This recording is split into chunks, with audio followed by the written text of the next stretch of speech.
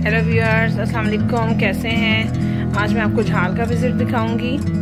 ये देखें sanitiser gate लगे हुए हैं।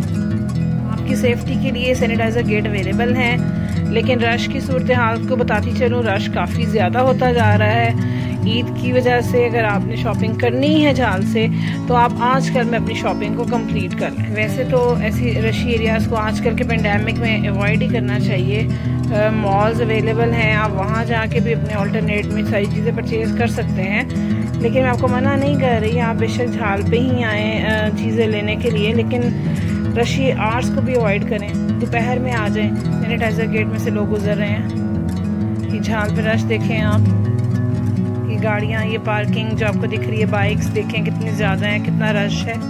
आप आसानी से कंपैरिजन कर सकते हैं मॉल का और झाल की शॉपिंग का, क्योंकि मैंने आपको शो कर दिया कितना रश है। और सेफ्टी इज़ वेरी इंपॉर्टेंट छाल पे आना है छाल पे आए शॉपिंग करें, लेकिन आज कल मैं कोशिश करें अपनी शॉपिंग कंप्लीट कर लें। मुझे दें इजाज़त, अल्लाह हाफिज़।